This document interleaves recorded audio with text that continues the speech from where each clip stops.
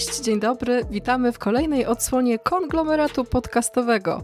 Jesteśmy na platformie, która zbiera wszystkie wasze ulubione podcastowe crossovery w jednym miejscu. A skoro początek podcastu jest taki, no to zapewne możecie się domyślić, że dzisiaj w wirtualnym studio zebrała się ekipa z dwóch podcastów. Bogusia Szewczyk to ja, e, konglomerat podcastowy i jest ze mną ponownie Sylwester Kozdroj z podcastu Retro Comics i od niedawna Gotam w deszczu. Cześć Sylwek! Cześć Bogusiu, dzień dobry wszystkim słuchającym. Dzień dobry, dzień dobry, miło Cię gościć ponownie. A skoro jesteśmy w takim y, duecie, no to zapewne możecie się domyślić, że nasze odkrywanie twórczości Eda Brubakera będzie trwało w najlepsze. Dzisiaj przyjrzymy się kolejnej odsłonie przygód pewnego wyjątkowego bohatera, ale zanim to nastąpi, to już tak... Kolejna seria pytań. Kolejna seria pytań, bo przez ten ostatni czas trochę mi się tutaj nazbierało. Nie, nie, dobra, żartuję. Ja właściwie mam tylko jedno pytanie, bo e, będzie ono związane z pewną rocznicą, która niedawno miała miejsce. No to tak na rozgrzewkę, Sylwku, mój drogi, powiedz, jak to jest nagrywać podcast, który skończył niedawno rok? Jakie to jest uczucie być już takim, no, powiedziałabym, zaawansowanym podcasterem? I w ogóle wszystkiego najlepszego z okazji roczku. dziękuję dziękuję i, i, dziękuję i wzajemnie, bo to chyba też niedawno było rocznica, jeżeli dobrze pamiętam. A, e, Bogusiu, e, jak to jest e, nagrywać rok? Powiem ci, że nawet nie myślałem, zaczynając nie myślałem, że dobrnę do tego roku, bo początki były koszmarne. Początki były bardzo trudne i bardzo ciężkie. Pamiętam, że jak pierwszy raz uruchomiłem dyktafon i podłączyłem go i zacząłem mówić, przedstawiać się i ćwiczyć w ogóle samo przedstawianie się, moja małżonka tego tego słucha i mówi nie, to jeszcze bardzo długa droga, żeby to jakoś to w ogóle brzmiało. Ja tak myślę sobie, wow, super. I taka na początek, na początek szpila, ale poszło. Pamiętam, że te podcasty, które ukazywały się głównie w wakacje, to był początek, to był lipiec, sierpień, to był taki najbardziej ożywiony okres początków Retro Comics, podcastu Retro Comics.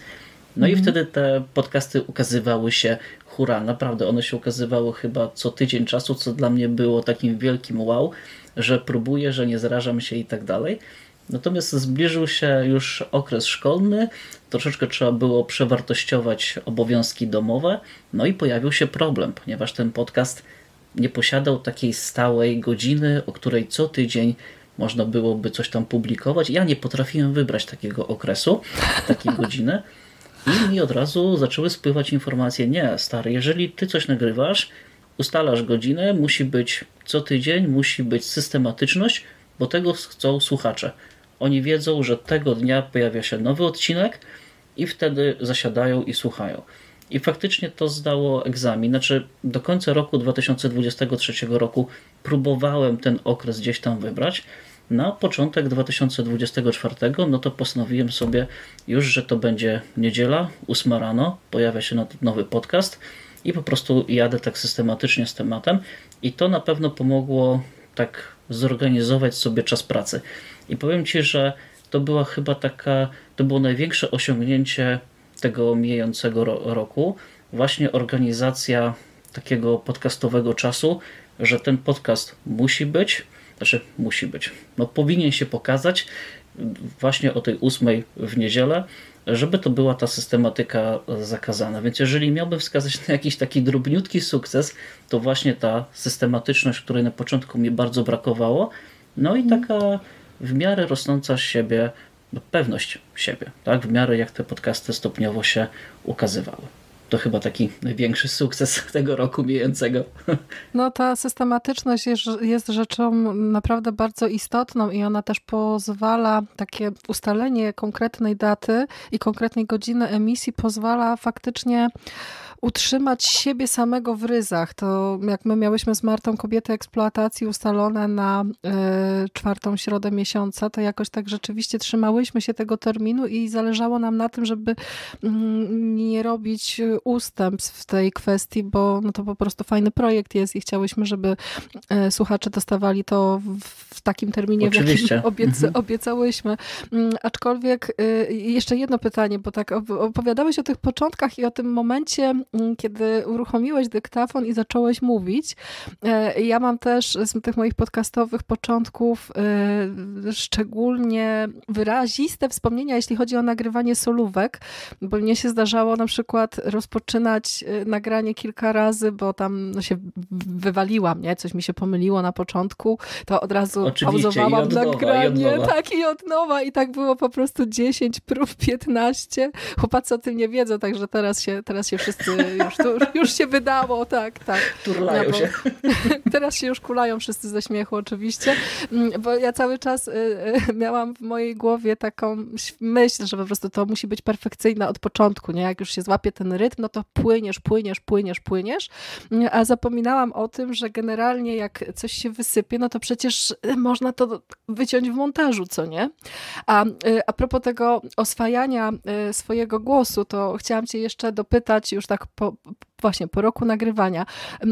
Na początku słuchałeś swojego głosu, żeby się z nim oswoić? Czy jesteś tym rodzajem podcastera, który raczej w te rejony się nie zapuszcza? Nie słuchasz sam siebie, czy, czy unikasz? O rany. Wiesz co, ciężko mi już tak powiedzieć. Nie pamiętam, jak wyglądały te początki. Na pewno siebie słuchałem, na pewno powtarzałem kwestie, zwłaszcza ten początek, bo to zawsze jest tak, że najtrudniej jest zacząć.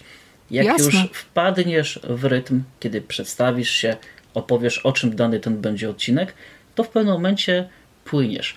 I mhm. jak znajomi słuchali tych pierwszych podcastów, to zawsze zwracali na jedną uwagę, mianowicie staraj się w pewnym momencie wskoczyć po prostu jakby to była rozmowa. Nawet y, postać jakąś, nie wiem, figurkę, na, postaw, przepraszam, mhm. postaw figurkę naprzeciwko siebie, połóż jakiegoś miśka i patrz na niego tak, żeby to była po prostu rozmowa, a nie czytanie z kartki, nie opowiadanie o jakiejś wiedzy encyklopedycznej, nie podawanie historycznego wykładu, przedstawienia jakiegoś problemu, tylko stara się to mówić po prostu tak, jakbyś chciał przedstawić swoim znajomym przy, w barze, przy piwie, Także siedzicie i opowiadacie o pewnych sobie sprawach, dzielicie się z własnymi doświadczeniami i tak dalej, i tak mhm. dalej. I to w pewnym momencie zaskoczyło. Zacząłem podchodzić do troszeczkę bardziej na luzie. Na początku wiadomo, człowiek był spięty, starał się nie pominąć żadnej kwestii, starał się nie przejęzyczyć, y, wspomnieć o datach. No i zaraz wspomniał człowiek o datach, myślę sobie, a może za dużo tych dat, tak? No bo przecież to nie miał być wykład. Więc cały czas coś dochodziło, cały czas starałem się wypracować jakiś pewien schemat. Troszeczkę podsłuchiwałem chłopaków z konglomeratu. Mniej więcej mm, systematyka to raz, a dwa poukładanie tego, żeby ta audycja miała jakiś ciąg logiczny, czyli powiedzmy mhm. jakieś rzeczy techniczne, trochę o autorach i tak dalej, tak dalej. Gdzieś to wszystko podpatrywałem u osób, które nagrywają bądź co bądź wiele, wiele lat. I to w jakiś sposób no, wpłynęło na pewno na te podcasty, jak teraz one wyglądają. I troszeczkę przyzwyczaiło mi, mnie do takiej samodzielności jako podcastera, bo nie ukrywam, że nagrywanie samodzielnych podcastów to jednak zupełnie inna bajka niż rozmowa. Ja nagrywając mm -hmm. Tobą podcast, ja po prostu chłonę wiedzę, którą gdzieś tam, czy wprawę, no po prostu przyzwyczajam się do tej rozmowy i naprawdę te podcasty dużo dla mnie znaczą i dużo takiego pozytywnego, mam nadzieję, na pewno zresztą wniosą w moją, powiedzmy, podcasterską e, osobowość, e, więc e, słuchałem siebie, ale też słuchałem innych, tak? Zaczynając. I właściwie dalej to robię. Cały czas słucham. No, myślę, że to jest akurat dobra droga, żeby mm, podpatrywać i żeby mm, gdzieś próbować wypracować sobie z jednej strony jakiś taki indywidualny styl, ale też jeśli już ktoś jest, kto robi niektóre rzeczy dobrze i kto może nam pomóc, tak. no to dlaczego mielibyśmy nie skorzystać z, z tej opcji? Zawsze to do pewnego stopnia na pewno nas wzbogaci, a może też udowodnimy sobie, że no, nie tędy droga, że czegoś nie powinniśmy powinniśmy robić, bo się dobrze z tym nie, czuje, nie czujemy się z tym dobrze.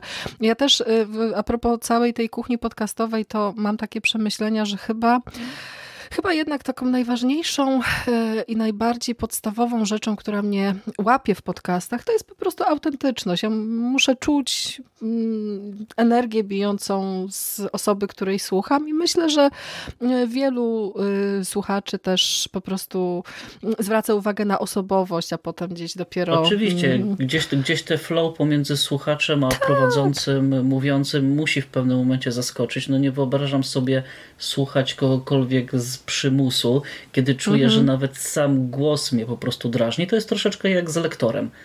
Jasne. Odwołam się do lektora czytającego książki Stephena Kinga, no musi zaskoczyć. Mando wielokrotnie powtarzał, przynajmniej ostatnio, że Leszek Filipowicz nie leży mu. Po prostu mhm. gdzieś no, nie może złapać tego rytmu e, słuchając go. Ja osobiście faceta uwielbiam i każdy myślę, że musi samodzielnie właśnie złapać z, z, z lektorem z podcasterem Flow, który pozwala, tak. no, sprawia po prostu, że ten podcast płynie, tak? On go słuchasz, wczuwasz się, no, trwa to no, traktujesz niczym rozmowę, tak? I myślę, że to jest mhm. ten etap, że jak ten etap się w ogóle osiągnie, to jest właśnie to najważniejsza, najważniejsza relacja pomiędzy właśnie słuchającym a podcasterem. No to tego będę życzyła Tobie z okazji pierwszego Wzajemnie. roku nadawania, sobie też. No to dygresje już były, to teraz możemy się, e, możemy ruszyć się już ruszyć, ruszyć z tematem, ponieważ czeka nas dużo, dużo dobrego. E, na pewno w, chciałam powiedzieć, że dzisiejszy podcast będzie krótki, ale patrząc na, patrząc na dyktafon, to różnie może być.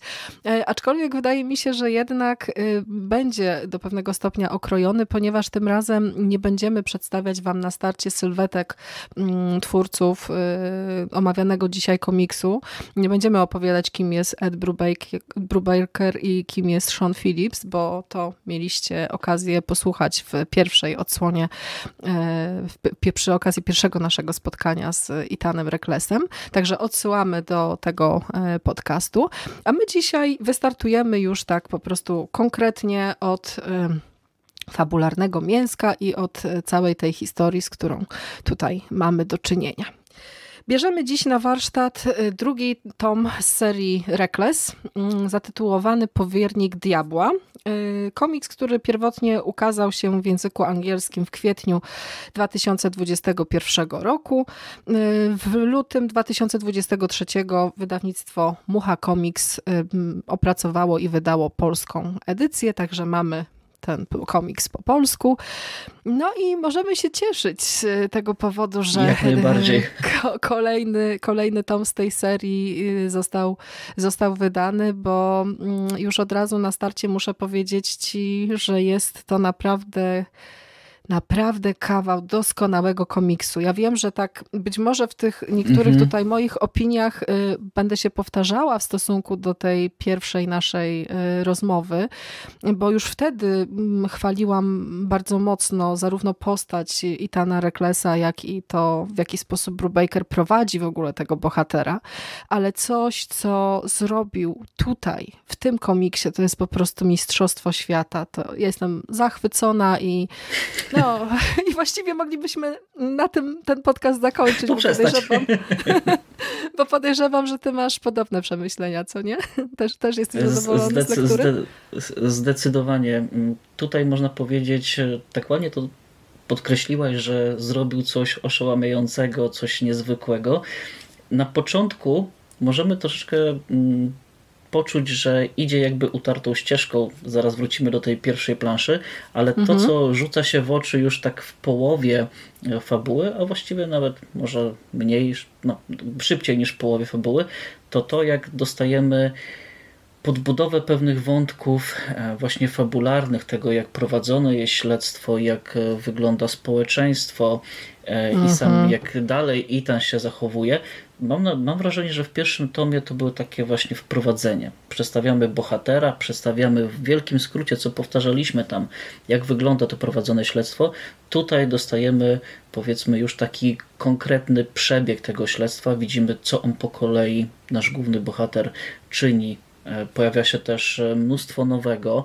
Więc to też nie jest tak, że idziemy utartą ścieżką i przestawiamy w ten sam sposób historię jakby kolejną. Nie, tutaj dostajemy dużo właśnie nowego. Dostajemy śledztwa, dostajemy wspomnienie rodziny, Pojawia się oczywiście też i stary, i wątek romantyczny. O tym wszystkim za moment e, myślę, że więcej powiemy, no ale na pewno jest to komiks, album, który rozbudowuje ten świat Itana Reklesa. To bez dwóch zdań i to rozbudowuje w naprawdę świetny sposób.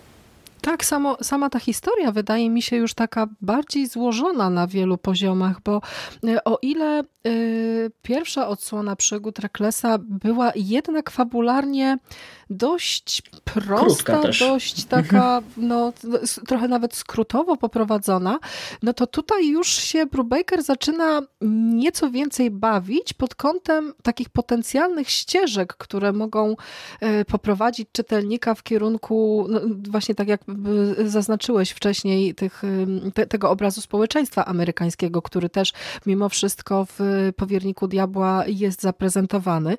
Ja też odczuwam, mm, mam takie wrażenie, że Brubaker chyba coraz lepiej czuje się z tym bohaterem.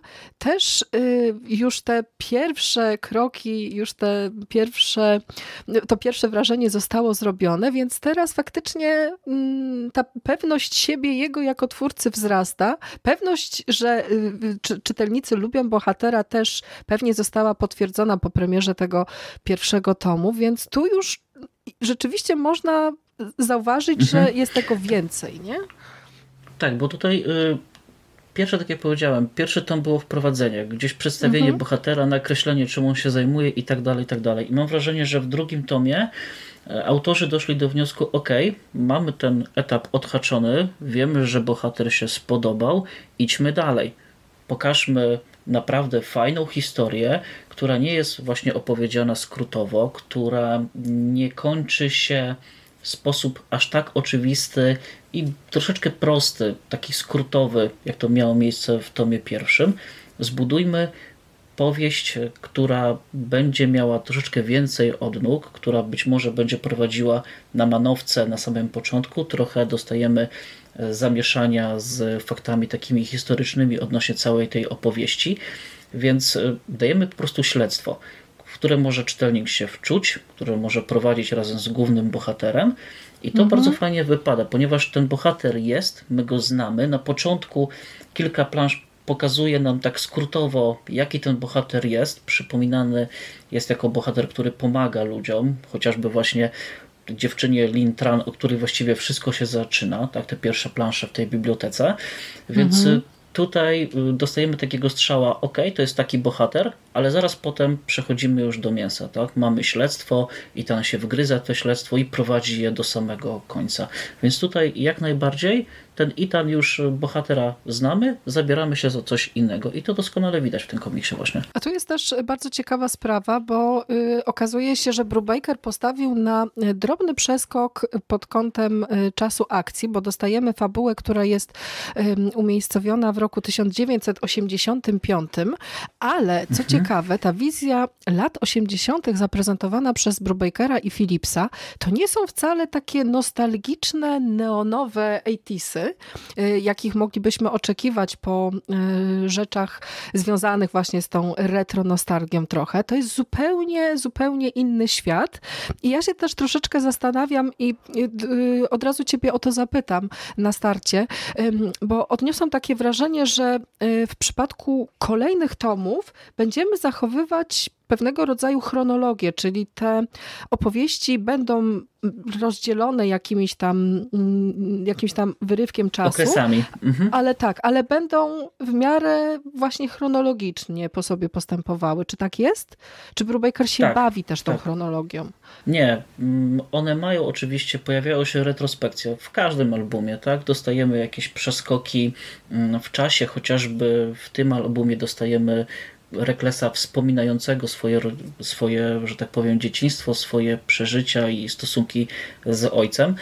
I w mhm. każdym tomie coś takiego dostajemy, ale to jest retrospekcja swoją drogą. Natomiast ta ciągłość e, w czasie, powiem Ci, mm, nie pamiętam dokładnie jak to jest z tomem trzecim, musiałbym to sobie odświeżyć.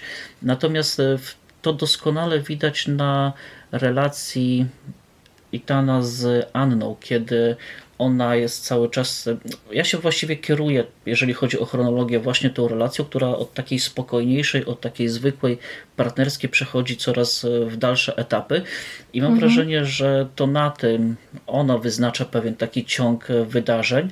Natomiast Zdarzają się oczywiście interwały, tak? Tutaj okres to nie jest tak, że kończy się miesiąc i zaraz zabieramy się za kolejną e, historię. Nie, tu jest, następuje przeskok delikatny w czasie. Nie pamiętam jakie one już są, czy duże, ale też jest e, widoczne to w takim skrótowym wyjaśnieniu, co się wydarzyło pomiędzy tymi historiami, tak? Mhm. Czyli wiemy, że Itan czymś tam się zajmował, miał kolejną sprawę. I Albo to nie. jest e, Albo nie, dokładnie, albo, albo odpoczywał na plaży, to już, to już w zależności od sytuacji, od jego nastroju. Natomiast gdzieś ta ciągłość jest zachowana, co mi osobiście bardzo odpowiada. Tak jak rozmawialiśmy wcześniej, ja bardzo lubię poznawać bohatera od początku, lubię mhm. czuć, że to jest jedna wielka historia. Nie znoszę takich historyjek wyrwanych troszeczkę z kontekstu, jakby autor w ogóle nie zastanawiał się e, na tym, o czym mówił we wcześniejszym tomie, czy nie miał rozpisanego jakoś tych tomów e, do przodu, chociaż dwóch, trzech, żeby no mimo wszystko ta chronologia, ten ciąg wydarzeń, no trzeba, czytelnik moim zdaniem powinien czuć, że to jest jedna wielka historia, a nie właśnie takie one-shoty, no bo one-shoty to zupełnie inaczej się odbiera, a jak to jest takie większe, większe lub mniejsze uniwersum, no to jednak no, czuć, że została przede wszystkim włożona tutaj praca, tak? To jest zbudowanie świata który ma ręce i nogi, a nie tylko taka tak. wydmuszka, i do której wrzucamy bohatera i on sobie musi poradzić. Nie, tutaj został naprawdę kawał roboty świetnej odwalony i to, to czuć w tym komiksie. No z jednej strony y, budowa świata, owszem, ale też poprzez y, prezentowanie konkretnych okresów historycznych, wydaje mi się, że Brubaker ma też szansę zaprezentować nam całą gamę tych swoich fascynacji, bo on absolutnie mm, nie kryje się z pewnego rodzaju inspiracjami. Tutaj cały czas mamy do czynienia z y, tym kryminałem noir, z pewnego rodzaju literacką i komiksową, również i filmową, jak się za chwilę okaże, palpom. Już patrząc Oczywiście. na okładkę powiernika diabła, to to jest faktycznie coś fenomenalnego, bo już y, obserwując kompozycję okładki, już możemy czuć, że przenosimy się w czasie w zupełnie mm, inny okres, w ten moment, kiedy y, rzeczywiście literatura palpowa święciła triumfy i faktycznie książkę z taką okładką można by spokojnie znaleźć gdzieś na półkach z tą, mm, z tą taką groszową, brutalną literaturą. A fabularnie, właśnie, co tutaj dostajemy fabularnie? Wspomniany już wcześniej przeze mnie rok 1985, jak się okazuje, nie był zbyt dobrym czasem dla wszystkich. Natomiast Rekles y, zajmuje się różnymi drobnymi śledztwami. Pozna spotykamy go w momencie, kiedy poszukuje faceta, który najprawdopodobniej y, swingował własną śmierć. No i na zlecenie jego żony bądź byłej żony y, Rekles ma go odnaleźć i pomaga mu w tym y, poznana i wspomniana przez Sylwka przed momentem Lintian, bibliotekarka. No i to jest zalążek całej tej e, romanty, całego tego romantycznego wątku, który oczywiście w takiej historii pojawić się musi, ale wątek romantyczny to jest też coś, co bohatera czarnego kryminału sprowadza na manowce i w tym przypadku również niestety biedny Rekles zostanie poddany pewnej próbie, ponieważ przy wieczornym seansie filmowym w jego kinie Lin zauważa na ekranie swoją zaginioną przed ośmiu laty siostrę. No a że Rekles jest człowiekiem, który no musi doprowadzić śledztwo do końca i musi odkryć prawdę. Do pewnego stopnia jest to w ogóle taki bohater trochę od tej prawdy uzależniony, że jak już się pojawia mhm. zagadka... Taki ciekawski, prawda? On musi... nie pozostawi e, tego, tak, on musi drążyć. Oczywiście, musi, musi się dowiedzieć, nie ma innej opcji. No i rozpoczęcie tego śledztwa będzie rzeczywiście otwarciem prawdziwej puszki Pandory, bo to, co będzie się tutaj fabularnie działo, no to będziemy to, mieć... To, to Jazdę bez trzymanki. Jazdę bez trzymanki, bo wejdą tutaj i wątki sekciarskie, i wątki związane z e, filmami SNAF, i różne rzeczy e, związane z narkotykami, z ciemną stroną Hollywood, więc będzie się naprawdę tutaj bardzo, bardzo dużo działo. A my lubimy takie historie, więc teraz wam trochę poopowiadamy o tym, jak e, to się wszystko fabularnie i rysunkowo również sprawdza. Prezentuje. Ja mam też do ciebie jeszcze pytanie, bo zaczęliśmy od tego, wspomniałaś mhm. o tej pierwszych relacjach e, Reklesa, tych takich romantycznych i właściwie tej podbudowy do samej historii, do tej głównej historii, właśnie spotkanie Reklesa z Lin Tran. I ja tak czytając ten komiks w pierwszym momencie, mm, kiedy pojawiła się pierwsza ta drobna sprawa Reklesa, kiedy on szukał właśnie zaginionego ojca rodziny, ja przyznam się, że troszeczkę byłem na początku zbity zupełnie z tropu, bo mhm. jak mamy te pierwsze plansze w tym komiksie, odwołując się tak do tego pierwszego tomu, który omawialiśmy, to one są bardzo do siebie zbliżone. Tak? Na początku dostaliśmy tym pierwszym tomie Reklesa stojącego gdzieś tam w stodole i oczywiście zrobił na nas ogromne, ogromne wrażenie. Natomiast tutaj tak dostajemy podobną zagrywkę i mamy na początku taką scenę, kiedy widzimy tego Reklesa ściganego gdzieś tam na plażach amerykańskich w nocy przez jakąś bandę zbirów i oczywiście ci złoczyńcy także są przedstawieni w takiej pozie groźnej, że broń Boże zbliżać się do nich. No i nasz bohater ucieka. I to jest e, coś, co zawsze mnie, zaczęło mnie zastanawiać, że właśnie Brubaker zaczyna trochę od drugiej strony. On od razu z miejsca rzuca w nas wow, będzie się działo, zobaczcie, idźcie dalej.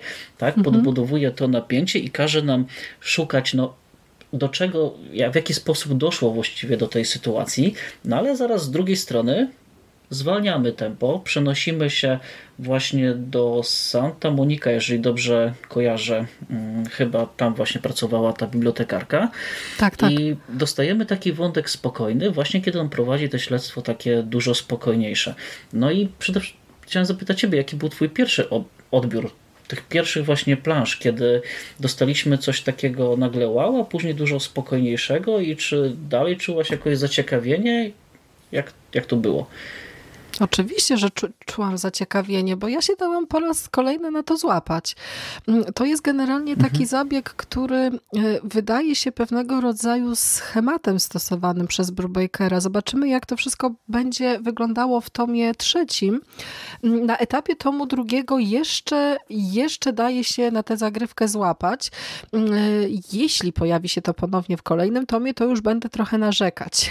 już, już, mi, już mi to Właśnie. odrobinkę będzie przeszkadzało, bo wtedy... Ile można, prawda? Tak jest, będę miała poczucie takiego trochę fabularnego pójścia na skróty na zasadzie, że no dobra, zrobiliśmy to już drugi raz, y, sprawdziło się to tam ileś razy, tutaj um, oni podejrzewam, że Brubaker też jakieś tam recenzje czyta, więc no ten moment mm, wniknięcia w historię też jest y, akurat takim elementem, który recenzenci chwalą, no to powtarzamy, powtarzamy. Chociaż z drugiej strony ja też mm, zastanawiam się na ile wynika to jednak z pewnego rodzaju mm, ogrywania konwencji, bo to, te, te mm, czarne kryminały często rozpoczynały się w taki sposób, że był bohater w jakiejś takiej mm, no, sytuacji podbramkowej, krytycznej, doszedł do ściany, po prostu już się spotyka z tym swoim głównym Nemezis, no i potem faktycznie dostajemy ciach i on rozpoczyna tę swoją tak. historię na zasadzie, Albo... że a to wszystko to zaczęło się w pewien deszczowy wieczór, kiedy siedziałem w biurze i nic się nie działo, ale zadzwonił telefon i to była ona. Tak, więc, tak.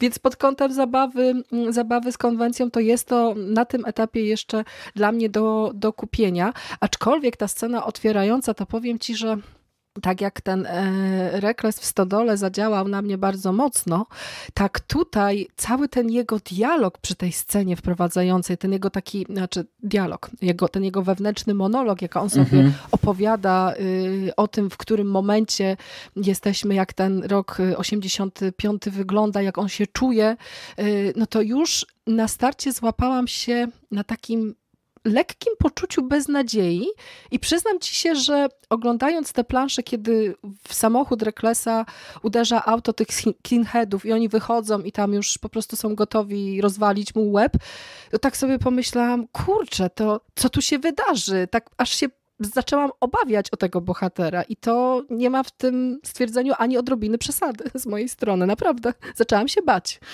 Ja często jak czytam e, tego Reklesa, jak słucham jego wywodu, to mam wrażenie, że e, znaczy myślę sobie, chłopie, jakie ty musisz mieć momentami smutne życie, że no w ogóle przychodzą, nachodzą ciebie takie myśli, to, ile razy on właśnie w samotności ogląda e, w kinie filmy, ile razy przechadza się samotnie po plaży, albo jak szybko wyciąga wnioski, które po prostu przypominają nam, kurczę, w jakim my okrutnym świecie e, żyjemy.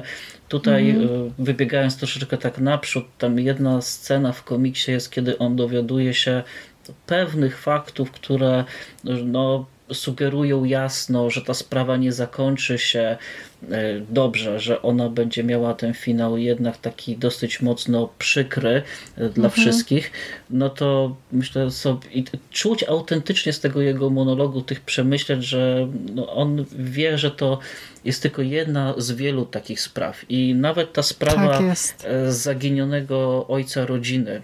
On szukał wtedy Richarda Fullera, później to mhm. się okazało, że to sam Charles jest, czyli wiedział, że to jest człowiek, który zmienia, zmienia po prostu te rodziny, przenosi się z jednego kąta e, w drugi i to też moim zdaniem no, ta sprawa pokazuje nam e, może jakie sprawy troszeczkę przyciągają Reklesa, że to są sprawy właśnie takie nie nawet Mm, gangsterskie, nie porachunki mafijne, tylko sprawy, mhm. które dotyczą prostych ludzi, którzy które, którzy mają po prostu podgórkę w pewnym momencie, zaczynają mieć. Czy to właśnie w związku z e, tym, że ojciec poszedł po fajki i nie wrócił tak. z, tych, z tego sklepu, czy to po prostu wynikające z trudnych relacji rodzinnych. I tutaj właśnie mamy ten wątek, retrospekcję, wątek stosunków Reklesa z własnym ojcem.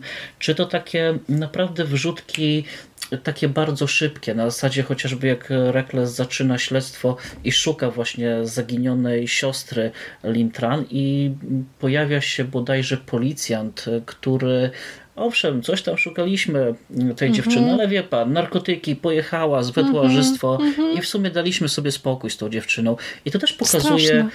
kurczę, no okropne, tak? Ja wiem, że to jest właśnie taki kryminał budowany, ta cała sceneria lat 80., czy nawet końcówki lat 70., ale mimo wszystko tam ciągle pada nawiązanie, że bohaterowie czują zamiłowanie właśnie do alkoholu, do narkotyków, że tak, tak, występują tak. częste rozpady rodziny. Jak się e, wczuć tą warstwę właśnie obyczajową, to naprawdę z tego komiksu bije dramat i mhm. dramat nie, nie tylko jednostki, ale całego społeczeństwa, tego jakie ono no, pewne mm, musiało żyć w pewnych czasach, które no nie były łatwymi czasami. Tak? Mam wrażenie, że to jednak właśnie te nagromadzenie narkotyków, właśnie alkoholu, tego, tego pędu za sukcesem, za tym show, za szukaniem właśnie własnej drogi, chociażby tej drogi filmowej, drogi gwiazdeczek filmowych, no to wszystko powoduje, że ten komiks no momentami naprawdę ciężko się czyta, zwłaszcza kiedy Rekles wpada ten swój monolog, który jest naprawdę mm. monologiem mocno pesymistycznym to, to, to także robi wrażenie tutaj. No, ja zazwyczaj nie robię tego, bo w przypadku komiksów wychodzę z założenia, że to tutaj powinniście sami przeczytać i zobaczyć, ale ja zacytuję kilka fragmentów z tej sceny otwierającej, żebyście mieli mm, pewnego rodzaju wyobrażenie, z czym my tutaj mamy do czynienia, bo to, mm, no zresztą posłuchajcie sami. 1985 y, to był kiepski rok. Kiedy myślę o połowie lat 80., stają mi przed oczami tanie narkotyki i kapele, których zdecydowanie zdecydowanie nie spodziewałem się słyszeć do końca swoich dni. Ich wielkie tapiry i głośne klawisze, automaty perkusyjne, Depeche Mode Duran Duran, muzyka do wciągania koksu i składania pustych obietnic. Co tam było dalej? To były podłe czasy dla mody i dla popkultury. Dla świata poza nimi jeszcze gorsze. Po mojej stronie miasta widywało się dzieciaki marniejące na ulicach, pokryte ohydną wysypką, mm, której dostawało się od spida, rwące sobie włosy z głowy. Tymczasem grube ryby, producenci, gwiazdy filmowe, dupki z Wall Street, wszyscy ważniacy wciągali kreski w restauracyjnych kiblach Hollywoodu i Beverly Hills. No, to jest właśnie przepiękne, tak. przepiękne podsumowanie świata mm, Reklesa i on w tym drugim tomie jest chyba nawet duż, jeszcze bardziej mroczniejszy, o ile jest to możliwe niż w tomie pierwszym, bo coś, co jest już zasygnalizowane w tym otwierającym historię monologu, to to, że będziemy mieli do czynienia z taką opowieścią, w której biedni po prostu mają no, pod mhm. górkę, nie? Jest zasygnalizowane, tak, że są jakieś tak, tam grube, grube ryby, które wykorzystują słabszych i to jest do pewnego stopnia też y, bardzo ważny element tej historii. Zdecydowanie, bo tak naprawdę pierwsza historia była historią gangsterską. Ci mhm. ukradli pieniądze, później się pokłócili, to chciała odzyskać i to po prostu była no, zwykłe takie e, taka sensacyjka kopana, utrzymana w klimatach kryminalnych. Tutaj wchodzimy poziom wyżej. Ta historia, tak, tak, jak zaznaczyliśmy na początku, jest bardziej rozbudowana i już taką historią jest, powiedziałbym, wciągającą i to naprawdę mocno wciągającą. Nie tylko dlatego, że idziemy razem z bohaterem i próbujemy rozwikłać, co tam się dokładnie wydarzyło z tą dziewczyną, ale właśnie z takich uwag, które mocno piętnują pewne zachowania społeczne. Ty mówisz o wyzysku bogatych, mhm. o tym, że te nastolatki były wykorzystywane oczywiście w okropny, niewyobrażalny sposób. I e, tutaj ten komiks bardzo dobrze to pokazuje. Fabuła powiedziałbym, że jest nawet dużo bardziej, no na pewno jest bardzo, dużo bardziej brutalniejsza od tego tak. pierwszego tomu. Nie na zasadzie też krwistości takiej fizycznej przemocy, ale właśnie tej takiej ludzkiej podłości, pokazaniu, mhm. do czego człowiek może zmusić drugiego człowieka, jeżeli tylko będziemy troszeczkę zaślepieni. Tutaj mamy wątek e, nie wiem, czy już idziemy troszeczkę tak, z zdradzeniem fabuły. Tak, tak, tak, tak. Mamy wątek e, sekciarski. Pamiętam, że jak mhm. E, opowiadałem Oli, e, małżonce o tym, co dokładnie, o co dokładnie w tym komiksie chodzi, to zaraz kilka tygodni później oglądaliśmy dokument filmowy na temat jakiejś sekty w Stanach Zjednoczonych. Nie pamiętam, chyba to było Johnstone, które też tutaj zostaje wspominane w tym komiksie. Tak. I po tym dokumencie tak e, siedliśmy sobie, właściwie to ona, bo to ona głównie bardziej ogląda i takie klimaty ma, e, lubi. Natomiast e, w jaki sposób w ogóle ludzie trafiają do takich grup, jak oni łatwo dają się zmanipulować, z czego to wynika.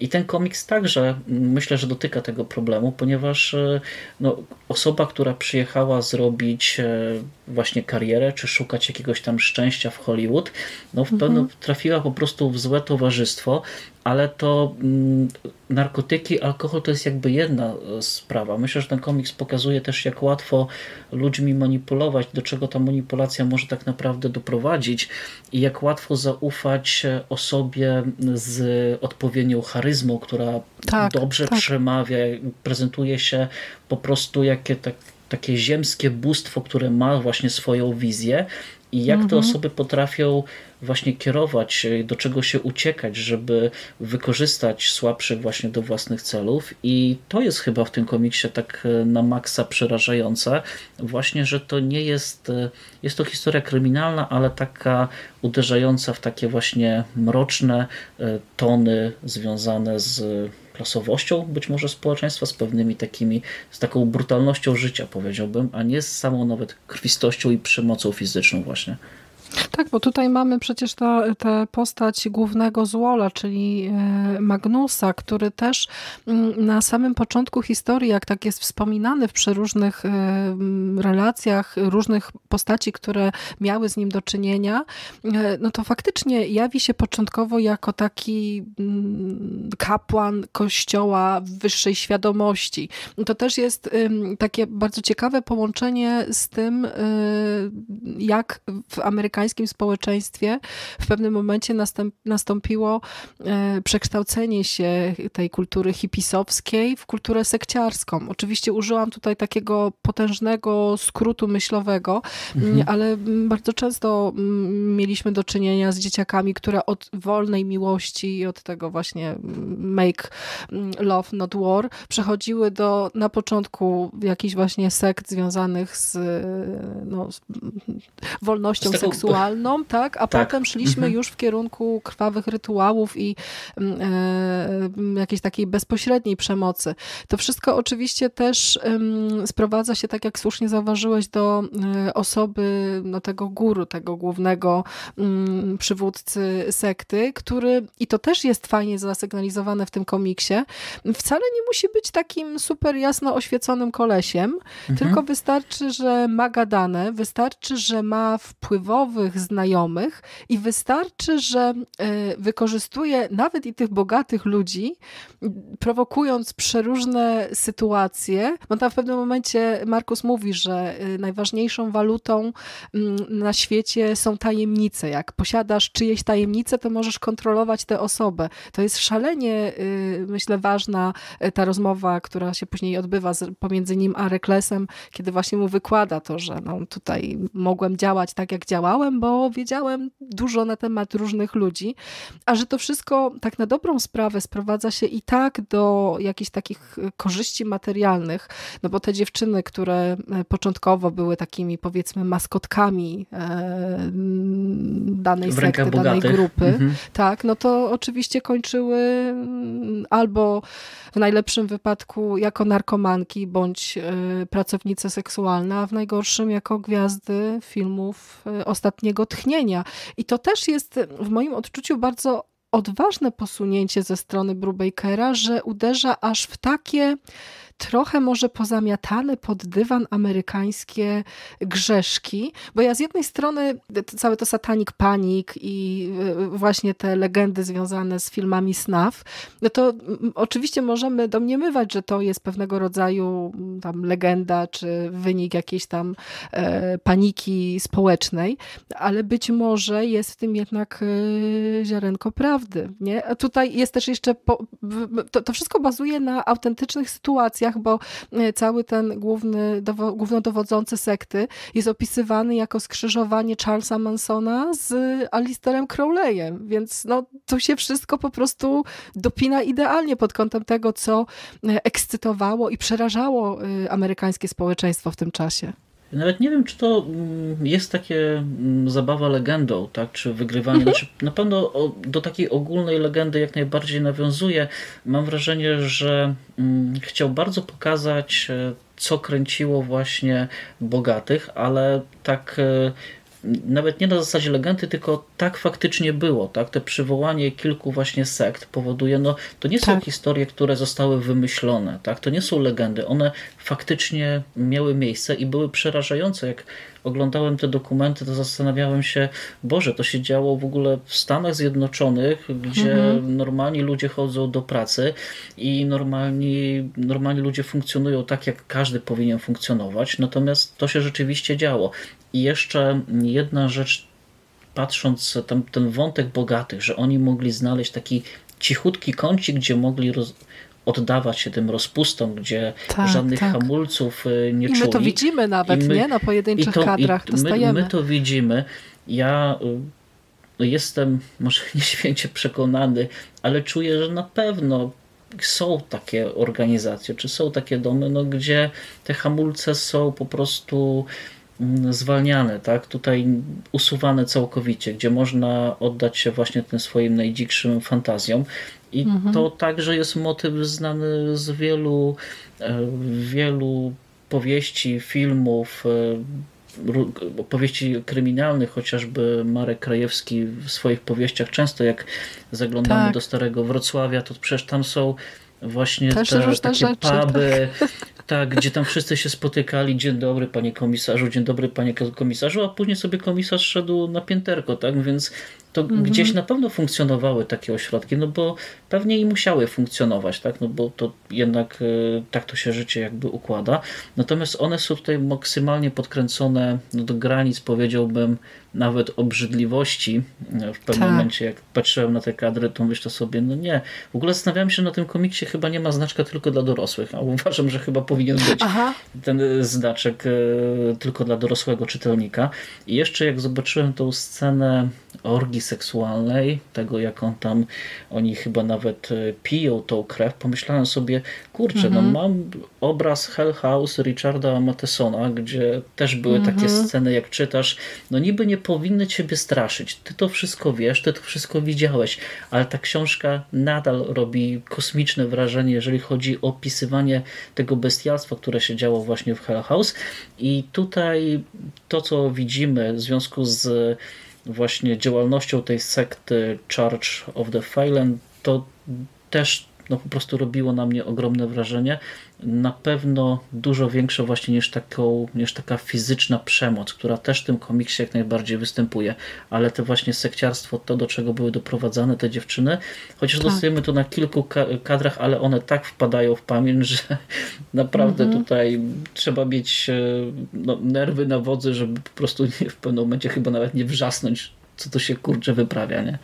Tak, tak, ale to jest też w ogóle fascynujące, bo tak jak opowiadamy o tym, jakie tutaj dostajemy tematy i jak przywoływałeś e, te konkretne kadry, to e, słuchacze mogą sobie wyobrazić, że jest to wszystko zaprezentowane tak drastycznie, tak bardzo szczegółowo. Natomiast Brubaker i Phillips postawili jednak na pewnego rodzaju skrótowość, jakąś taką uproszczoną y, formę tych kadrów. Ja oczywiście mm, nie będę tutaj mówiła, że fajnie byłoby, jakbym widziała wszystko w detalach. Nie o to chodzi. Tutaj chodzi o, o samo zasygnalizowanie niektórych rzeczy. W pewnym momencie tak. tam dostajemy na przykład scenę z uciętą głową psa, której ja się kompletnie nie spodziewałam. Jak doszłam do tego kadru, dotarłam do tego momentu, to ja po prostu no, zatrzasnęłam przerażona ten komiks i stwierdziłam, że no ej, ale to przecież to, przecież to było zwykłe śledztwo. On szuka zaginionej dziewczyny. No co tu się w ogóle odwala? Jak docieramy mhm. do tego momentu, kiedy nagie dziewczyny rozsmarowują sobie krew po ciałach, no to to jest wszystko jednak takie właśnie oślizgłe, sugestywne, ale z drugiej strony jednak będę broniła tego, że Brubaker postawił w tej fabule na takie mocne e, podkreślenie niektórych rzeczy, bo mm, każda, każda epoka, każda dekada ma jakąś tam swoją historię przemocy, swoją własną e, charakterystyczną historię ochyctwa i on y, wybierając takie konkretne elementy jednak tworzy pewien spójny obraz y, i pewną spójną wizję, no a że umieszcza w tym wszystkim jeszcze bohatera, który też no, raczej do takich no, super łagodnych facetów y, nie należy, no to możemy się spodziewać, że tu faktycznie y, ta zemsta będzie krwawa i no, sam finał tego, co się dzieje z Markusem na tych ostatnich kadrach, kiedy mm, Rekles się z nim spotyka, no to też jest, powiem ci, no, dość, dość mocna jazda i nie oczekiwałam tego zupełnie. Wiedziałam, że się będą bić, ale nie spodziewałam się, że to pójdzie że tak. w takim kierunku, tak. No na pewno, bo tutaj finał też jest zupełnie inny. On jest taki, on jest mhm. kulminacją śledztwa, tak? Tutaj mamy te śledztwo poukładane, idziemy razem z bohaterem, dochodzimy do wielkiego finału, no i mimo wszystko tak. no ten finał otrzymujemy i to nie jest taki finał skrótowy. Już, już sama ta przemowa, do czego, dlaczego właściwie dochodziło do tych spotkań bogatych, właśnie odnośnie tych tajemnic, że te tajemnice mhm. są taką walutą dzisiejszego tak, tak. świata, e, to wszystko powoduje, że no widać, że ten finał był bardziej prze, mm, nie przekombinowany, ale bardzo przemyślany. Tak? On mhm. ma już ręce i nogi. Ja się bardzo cieszę z takiego finału, ponieważ on e, pokazuje też pewien etap, że to nie jest, to nie będzie taki album właśnie one-shotowy i będzie też albumem dopracowanym. To, co zastanawialiśmy się, to o czym mówiliśmy we wcześniejszym odcinku e, podcastu, w jaki sposób e, bohaterowie, przepraszam, artyści tak szybko tworzyli te historie. Oni mieli mhm. faktycznie bohatera, mieli już wyobrażenie świata i ta historia, zastanawialiśmy się właśnie, mm, jak to możliwe skonstruować taką historię w tak krótkim czasie, w tak krótkim tak, tak. odstępie tak. tego czasu. No i to pokazuje, że da się. Tak? Oprócz tego, że ta pierwsza była właśnie takim wprowadzeniem, tutaj już mamy tą historię bardzo przemyślaną i to też pokazuje mhm. w jakiś sposób kunszt artysty i kolorysty, i scenarzysty, i właśnie rysownika, że to wszystko bardzo szybko zostało wgrane, a oprócz tego to, co wspomniałaś o tej sugestywności obrazów, mhm. że one mm, nie są takie nachalne może tym bestialstwem, tak. ale tutaj mm, bardzo dużą rolę moim zdaniem odgrywają takie wrzutki mm, narratora, te informacje, które docierają do nas w toku tego prowadzonego śledztwa, bo i ten odwiedzając kolejne osoby związane w jakiś sposób z tą sektą, mniej mhm. lub bardziej, czy to agentki e, reklamy, czy to rozmawiając z sąsiadami, tam za każdym razem dostajemy taką, taki drobniutką szpilę, taki element, który mówi, a tutaj się działy takie rzeczy, a ja słyszałem to, ja słyszałem tak, tak, tak, to, dziewczyny, dziewczyny znikały i my po prostu, mm. kurczę, ja tam czytałem za pierwszym razem, okej, okay, dobra, to będzie się działo, tak, to idzie właśnie w takim jakimś kierunku mm. i mhm to też bardzo oddziaływuje na wyobraźnię. My tam w pewnym momencie, my tam mm, ta kulminacja, właśnie rozsmarowanie krwi na ciałach, czy właśnie ta głowa psa, w ogóle zastanawiam się, czy to, czy to nie wilk, ale to takie by na marginesie, to tak. mamy y, cały czas taką podbudowę, która też działa na wyobraźnię. Tak? No, słowa działają bardziej momentami niż y, właśnie sam obraz, zwłaszcza, że one tutaj w tym komiksie, tak jak y, często no czasami oglądając serial, mam wrażenie, że nie było nieprzemyślonego zdania. Przy mhm. niektórych produkcjach to się czuje po prostu, nie wiem, dla mnie na przykład produkcja Mad Men, kiedy słucham dialogów tych bohaterów, mam wrażenie, że one naprawdę są dopracowane i tutaj tak, takie samo wrażenie. Tutaj nie ma dialogu zbędnego, tu nikt nie zapełnia plansz czymś nieistotnym, każdy kadr, mhm. każda plansza przybliża nas do tego finału i podbudowuje cały czas tą historię, no, buduje jej obraz i to czuć. Ale zobacz, jakie to też musi być jednak no, mistrzostwo y, twórcze, bo y, rozmawialiśmy w poprzednim odcinku o tym, że niektóre komiksy są trudne w odbiorze właśnie z powodu tej ściany tekstu, z którą zderza się y, czytelnik, no bo komiks jest jednak takim medium pośrednim pomiędzy y, literaturą a obrazem. To wszystko powinno być jakoś tak właśnie odpowiednio z, ustawione, więc gdyby e, Brubaker zdecydował się na nieco więcej tych, e, mm, tych wtrąceń Reklesa, no to mógłby przesadzić, a coś, co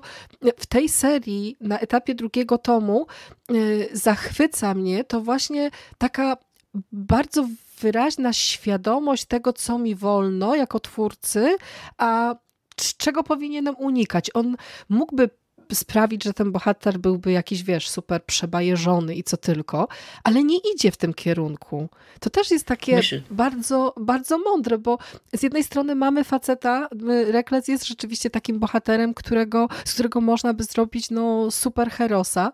Y, jeden cios po prostu sprawiałby, że jego przeciwnik leciałby, leciał, leciał, leciał gdzieś tam na odległą ścianę, kręgosłupy by pękały, ramiona by wyskakiwały ze stawów i co tylko, ale unikamy tego, chociaż w niektórych scenach rzeczywiście ta, e, ten hiperrealizm jest troszeczkę e, zasygnalizowany, ale do takiej dopuszczalnej granicy. A ta brutalność jeszcze, e, o której tak rozmawiamy sobie, to wydaje mi się, że ona działa dwa razy mocniej z tego powodu, że punktem wyjścia całej tej opowieści jest wątek romantyczny i uwaga, to teraz powiem z pełną świadomością tego, co, tego, co myślę.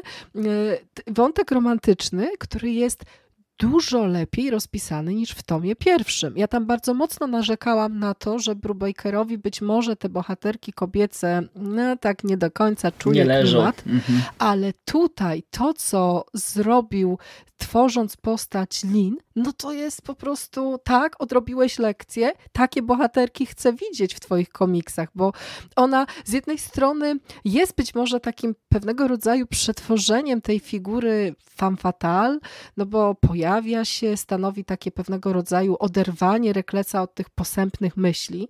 Oni się w I rzuca w niego problemem.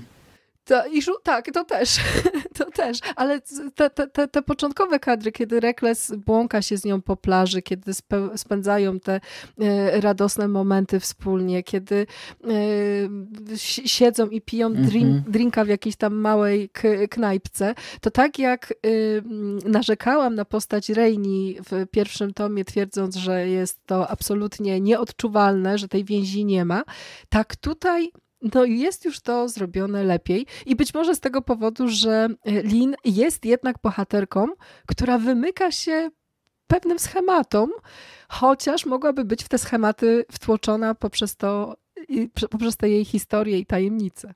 Na pewno. Tutaj nie wiem, czy to też nie zasługa jest tego, że dostała po prostu więcej czasu komiksowego, jest bardziej aktywną e, bohaterką. W pierwszym mhm. tomie mieliśmy dziewczynę, która po prostu sprowadziła kłopoty. Mieliśmy retrospekcje, które miały nam nakreślić taki obraz, dlaczego Itan w ogóle zdecydował się jej pomóc tak szybko, bez jakiegoś tam większego zastanowienia. Natomiast ona w pewnym momencie po prostu znikła. Natomiast tutaj mamy od początku, no czujemy, że to będzie coś więcej. Już nawet ta scena, te pierwsze plansze, kiedy Ethan wchodzi właśnie do Santa Monica Public Library, kiedy Aha. widzi tam e, Lin, która ma kłopoty z jakimś tam bezdomnym i próbuje od razu rekles rycerski wkroczyć do akcji i, i, i po prostu e, no, pomóc, wspomóc w walce z bezdomnym. Wychodzi z tego troszeczkę przezabawna sytuacja, więc na początku w ogóle zastanawiałem się, ok, ciekawy zabieg, tutaj mieliśmy gościa uciekającego po plaży, a teraz troszeczkę śmiechy, chichy takie w bibliotece. Myślę, dobrze, dobrze się zaczyna ten, ten tom, e, ale później idzie to cały czas takim w kierunku mocno, mocno romantycznym i to też do pewnego stopnia jest w ogóle to jest taki wątek, powiedziałbym, jakby to określić, który sprawdza się, ponieważ jest taki naturalny. On nie ma mhm. tam takich rzeczy, że oni są jakoś mega zakochani, że to jest e, no, takie, takie wow i, i w ogóle nie wiadomo co. Oni rozmawiają, snują się po plaży, pójdą do baru, tu się kochają, tu się znowu spotykają i tak dalej. Mam wrażenie, że to jest takie mega, mega naturalne zrobione. Nie ma takiej nachalności, nie ma takiego właśnie szafowania jakimś romantyzmem takim aż do bólu. To jest po prostu wątek dziewczyny, mężczyzny, którzy po prostu potrzebowali akurat w tym momencie zbliżenia i to się, ten, ta naturalność jest wyczuwalna w tym komiksie i to dlatego się sprawdza. Czujemy, że to nie jest jakaś taka wydmuszka, tylko faktycznie coś, co mogło mieć miejsce. Co więcej, cały czas do tego wątku wracamy. Ta Lin, nawet jeżeli już Rekles opuszcza ją, żeby prowadzić śledztwo, powiedzmy w jej imieniu, ona jest cały czas. Gdzieś tam. Czy, Tak, mhm. ona gdzieś tam jest mm troszeczkę w tle, więc e, to jest chyba ta główna siła tego, mm, tej bohaterki. Co więcej, ona dostaje, e, tak jak powiedziałem, dużo czasu tego komiksowego, gdzie, ponieważ poznajemy w ogóle jej przeszłość. Tak? To też jest coś, co moim zdaniem mm, bardzo dobrze zagrało, ponieważ to nie jest taka wydmuszka, która pojawia się nagle, zrzucam na ciebie swoje kłopoty i proszę cię pomóc pomóż, tak? Tutaj załatw to i tamto. Dostajemy właściwie całą też podbudowę, jak doszło do tych kłopotów. Dostajemy wspomnienia tej bohaterki, bo mm. ona opowiada o swoich relacjach z siostry, więc to też fajnie pokazuje, że ta historia no, jest przemyślana od początku do samego końca, nawet z takimi małymi detalami, jest przemyślaną historią, a co więcej, w tym komiksie możecie odczuć wrażenie, że dużo strasznie się dzieje i faktycznie tak jest. Ten komiks jest naładowany informacjami, ale to mhm. są też tak sprytnie przemycona informacja, ona jest tak sprytnie przemycona historia, bo ten komiks nie jest specjalnie gruby, a tych wątków, tych różnych odniesień, retrospekcji, tutaj właśnie to, co mówiłem o relacjach Itana z ojcem, tutaj właśnie jak on szukał tego zaginionego ojca rodziny. Teraz jeszcze słyszycie, że mamy wątek przeszłości tej dziewczyny Lin Tran, więc cała masa tych wątków, ale to naprawdę zostało świetnie pokazane i znowu mam wrażenie, że Brubaker potrafił wyczuć, że no ma do czynienia z dorosłym czytelnikiem, więc on nie potrzebuje Aha. czytelnik takiego napakowania informacjami wprost. Wystarczy kilka kadrów, właściwie każdy wątek, dwie, trzy plansze i ty sobie wszystko ładnie połączysz w kropki, drogi czytelniku, więc idźmy dalej. I przez to też e, ten, ta historia po prostu wygra, bo ona jest po prostu ciekawa.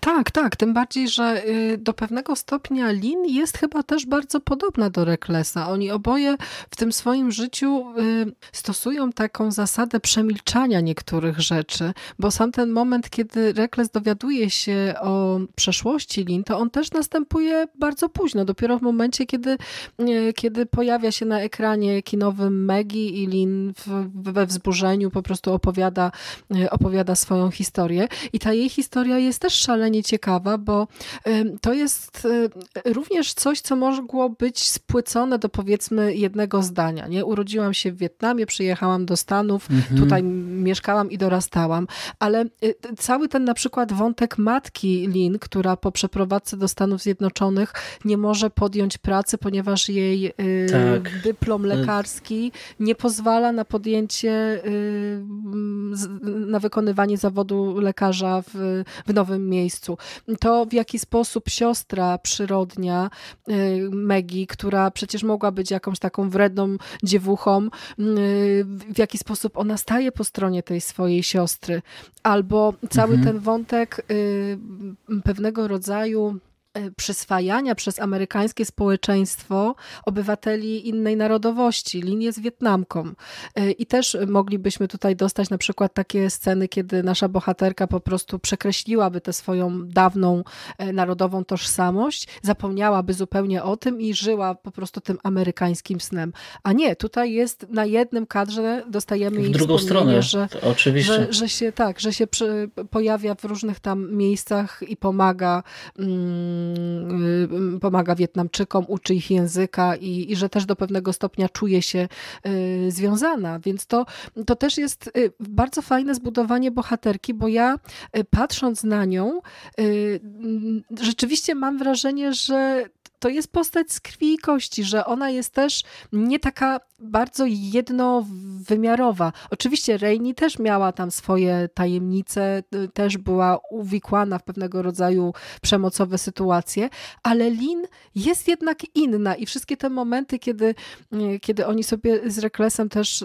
no, żyją tak po prostu normalnie, siedzą w tym kinie, rozmawiają o książkach, to, że ona w ogóle jest bibliotekarką, nie? To, to, to też jest coś, coś takiego super super. Bardzo wow. mocno miałam tutaj y, y, skojarzenia, wiesz, z, z, czym? Z filmem Gorączka Michaela Mana, gdzie też był mhm. podobny wątek y, przestępcy, który pewnego dnia spotyka tak. księgarkę i nagle no, się zaczyna. No.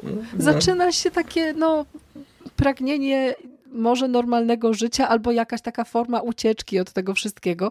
I Lin jest właśnie taką bohaterką. I w, w, w tej chwili, kiedy ona mówi o tym, że no, tęskni za swoją siostrą i że uwiera ją to, że nie wie, co się z nią stało, że czuje też do pewnego stopnia to, że no, pewne służby nie dopilnowały wszystkiego i to, że Rekles nagle y, podejmuje praktycznie błyskawiczną decyzję, że tak, pomogę ci, od tego jestem, to też wszystko jest takie no właśnie wiarygodne, bardzo mi to pasuje do, do tych bohaterów. A co jest jeszcze przepiękne, to to, że ci bohaterowie się też zmieniają. Też widzę pewnego rodzaju progres w tym, y, jakimi y, oni są ludźmi. E, bo tam y, w, w pewnym momencie, a propos tego tej szalonej potrzeby odkrywania prawdy przez Reklesa, to on tam mówi coś takiego, że no, jestem świadomy, że to jest do pewnego stopnia pogoń za duchem i że ta prawda zniszczy mnie i ją, i nasz związek, nie? Tę naszą relację. Mhm. To jest mega to jest... smutne, ale kurde życiowe, bardzo mocno życiowe. Tutaj bije taki mocny fatalizm też od bohatera, który no, gdzieś no tam pesymizm cały czas e, od, jemu towarzyszy i on nawet, mhm. mam wrażenie, że jak był ten właśnie wątek romantyczny, nazwijmy go, mhm. E, to wtedy on nawet w tym związku pojawiają się tego jego monologi, które gdzieś tam przypominają nam, że to nie będzie też takie szczęśliwe zakończenie, że ten wątek w pewnym momencie się po prostu urwie, to, że to jest robione na chwilę, ale popatrz, tak. rozmawiamy o bohaterce, która w ogóle jakby była zajawką do głównej fabuły, rozmawiamy 15 minut o, o Lintran i tym wątku. I tak sobie myślę, kurczę, jak to trzeba być, mieć łeb na karku scenarzysty, żeby skonstruować taką postać, która jest postacią drugoplanową i tą taką, mhm. może nie mocno drugoplanową, ale jednak gdzieś tam z boku się trzymającą, a mimo wszystko no mega ciekawą, tak? Pewnie inni mogliby to zrzucić troszeczkę bardziej płytko na nas, mogliby rzucić postać kartonową, róbcie, myślcie o niej co chcecie, ona tylko jest tutaj na moment. A tutaj mhm. mimo wszystko nie. Brubaker robi z niej naprawdę ciekawą figurę w tej całej historii, mm, która właśnie zaczyna tą naszą historię i czujemy też bliskość z tą osobą, taki naturalizm właśnie bijący od niej i to też jest mega plus, mam wrażenie, tej takiej konstrukcji scenariusza, że tutaj to co podkreślę zostało wszystko bardzo, bardzo mocno i dobrze przemyślane. No dobrze, e, ale nie zapominajmy też o drugiej kobiecej bohaterce, która... Oj tak, która... Już myślałem, że zapomniałaś. Nie, nie, nie, no o Annie, o Annie coś ty. No, przyznam, ci, przyznam ci się, że bardzo, bardzo czekałam na to, aż Anna się pojawi w mm, tym drugim tomie. Nieco jestem rozczarowana tym, że jest jej mimo wszystko tak Troszeczkę mało. mało. Mhm. Tak, tak, ale y, też cały czas mam w pamięci to, co wspominałeś, że doczekamy historii, kiedy to ona będzie e, no, główną bohaterką, także czekam na to bardzo, bardzo mocno. Ale to, to a propos tego, jak się te postaci zmieniają, jak ci bohaterowie się przeobrażają, y, to Anna tutaj też y, do, do, do pewnego stopnia ma jednak ciekawy, y, za, za, zarysowany rozwój, bo z jednej strony jest DJ-ką w jakiejś tam studenckiej rozgłośni radiowej. Strasznie mnie to ubawiło, bo przy tym jej całym wyglądzie takiej właśnie zbuntowanej pankówy i tych fioletowych włosach, to ona mi tak bardzo właśnie pasuje do, do, do, do takiej osoby, która po nocach puszcza ostre granie gdzieś tam w jakichś undergroundowych y, rozgłośniach radiowych, to z jednej strony, a z drugiej strony Brubaker rozbawił mnie do łez, prezentując Annę jako y, postać działającą pod przykrywką. W ukryciu, tak. I to jeszcze w dodatku jako przedstawicielkę Urzędu Skarbowego, czyli to po prostu zupełnie dwa różne bieguny, coś, co kompletnie nie pasuje mi do tej postaci. A to się wydarza w tym komiksie i ja po prostu płakałam ze śmiechu, jak ona tam puka do drzwi tego kolesia, żeby zapytać że o musiała umowy. się ubrać tak ubrać w taki sposób bardzo formalny. Myślę sobie, tak, kurczę, tak. musiało wszystko ją tam gdzieś cisnąć po bokach, ona jednak dumnie z tym SSR-em e, w ręku.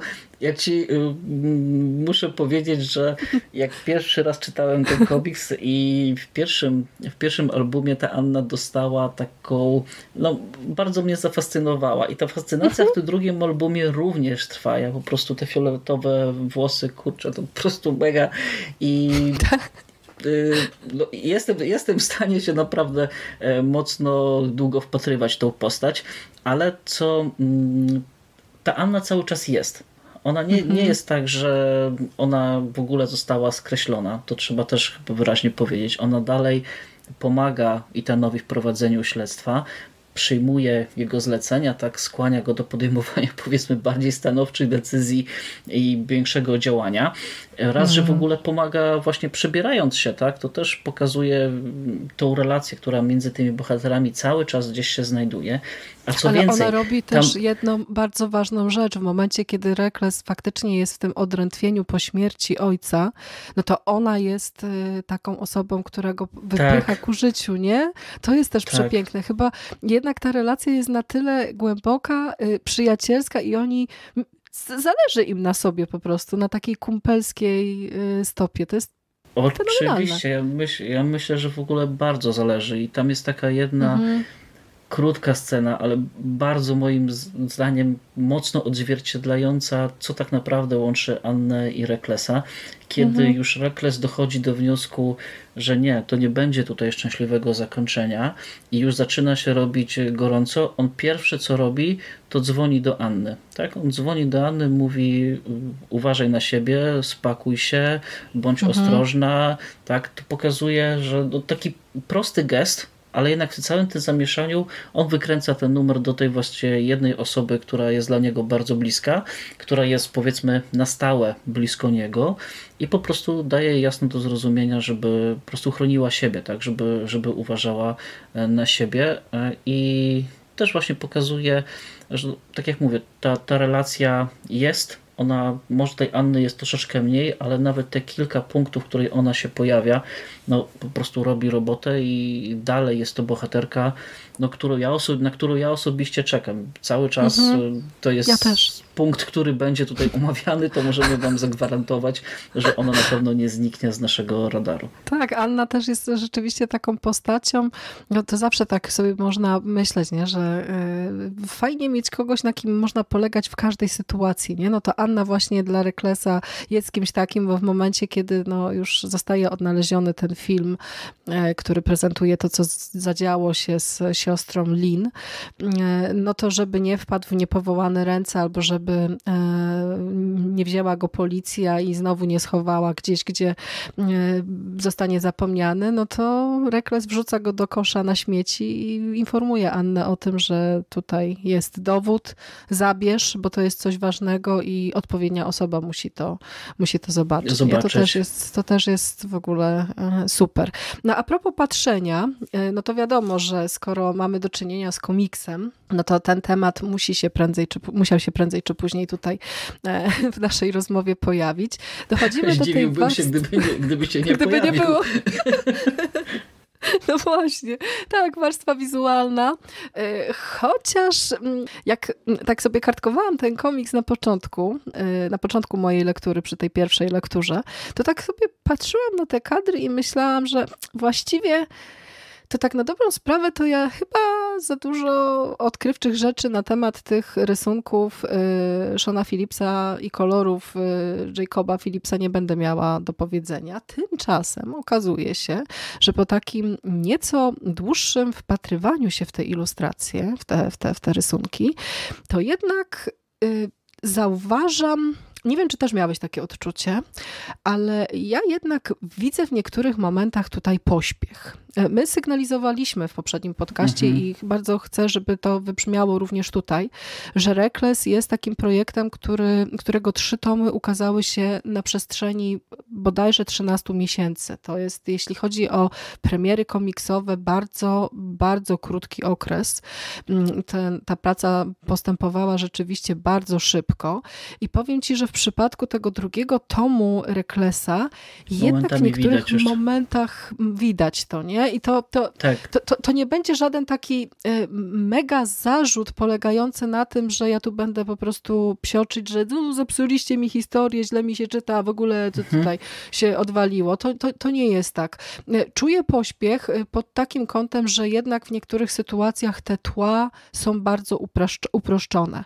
Czasami Philipsowi zdarza się lekkie zaburzenie anatomii, trochę tak, w niektórych tak, tak. momentach y, te twarze są niedopasowane. Taki tła w jakichś takich scenach w pomieszczeniu mm, w, w, czasami mają też taki charakter na zasadzie trochę kopiuj wklej z pierwszego tomu, więc ten pośpiech jest rzeczywiście widoczny, ale w rysunkach, w przypadku y, y, powiernika diabła, ja też zauważam pewnego rodzaju takie rozdwojenie y, Philipsa, bo z jednej strony to, co powiedziałam, taka no, skrótowość, uproszczenie tła, jakieś takie pójście rzeczywiście mm, trochę może na łatwiznę z powodu mm, prędkości pracy, ale jak dochodzimy do jakichś takich kadrów już wyjątkowo ważnych fabularnie, to on nagle zaczyna się bawić po prostu w milion szczegółów.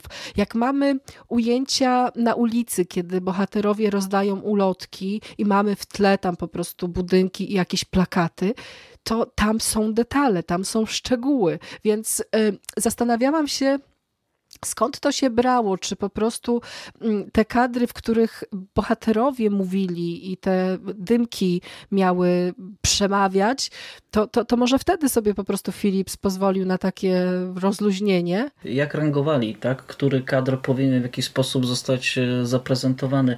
Powiem Ci, tak. że jak e, ja pierwszy raz oglądałem ten komiks, to dla mnie właściwie ta pierwsza połowa komiksu kiedy mm, dostajemy podbudowę samej fabuły, to ona jest bardziej taka właśnie rozmazana. To, co tam trafnie zauważyłaś, że mhm. szczególnie ta anatomia postaci, jak oni tak bokiem patrzą, to niekiedy tak, mam tak, wrażenie, tak, tu tak. się nos, nos rozjechał, tutaj jakby mhm. włosy takie za bardzo kanciaste i co więcej widać to na głównym bohaterze. Najbardziej chyba on obrywa e, w takich pewnych tak e, momentach niestety. Ale tak. mam wrażenie, że mm, to są kadry troszeczkę takie właśnie mało istotne. Ten mhm. bohater przemawia, skupiamy się na tym, co mówi, natomiast one niewiele więcej wnoszą. Tu wspomniałaś o pewnej schematyczności i kopiowaniu kadrów. Jak mamy serię, odwołam się do innej serii komiksowej, Invisible, kiedy Kirkman produkował przygody tego bohatera po prostu na, na tomy bardzo szybko i tam jest po prostu żywcem wyjęte kadry wrzucone do drugiego zeszytu, kolejnego, trzeciego i czwartego właśnie odnośnie tła na przykład, mhm. co powodowało, że ta praca jednak mimo szybko gdzieś tam postępowała do przodu. Być może tutaj też był taki zabieg, że te tło dostajemy wycięte jakby z innego kadru, naniesionego tak. bohatera, który to przemawia i idźmy dalej. Natomiast kiedy pojawiają się detale, no to tutaj, kiedy mające znaczenie, szczególnie te detale dla e, właśnie samej fabuły, kiedy pokazany jest bardziej ten przemysł filmowy, to jak działają te agencje, jak prowadzone jest śledztwo przez Itana, czyli to wszystko, co ma tak naprawdę e, znaczenie dla samej opowieści, mhm. najważniejsze znaczenie dla opowieści, to tutaj jest jednak mimo wszystko bardzo dobrze e, zobrazowane. Co więcej, mam wrażenie, że są takie detale, są takie kadry, które zostały dopracowane, ponieważ no, chciano nam zwrócić na coś bardzo mocną uwagę.